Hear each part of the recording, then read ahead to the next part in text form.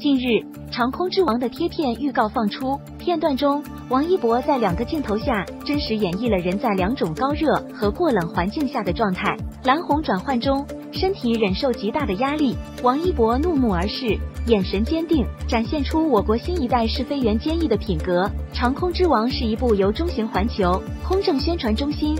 航空工业文化中心合作的红色影片，讲述了雷雨等优秀飞行员经过严苛选拔，正式成为了我国新一代试飞员，一款战斗机的正式列装。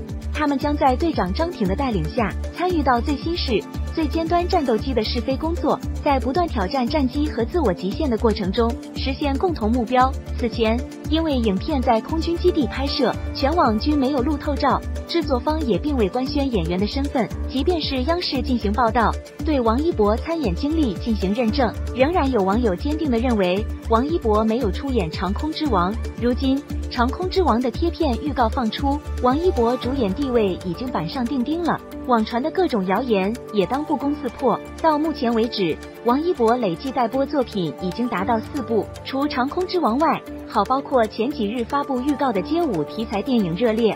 该片由黄渤与王一博主演，以及择期上映的红色谍战片《无名》。该片则由梁朝伟、周迅、王一博共同主演。另有一部作品则静待官宣。王一博作为流量明星，其演技一直饱受争议，被指为面瘫等等。但正如粉丝所言，王一博绝对是努力、勤奋而又真挚的。我相信。在王一博有各种演技大佬的交流和学习当中，演技肯定会不断得到提升，为观众奉上更加精彩的影视作品。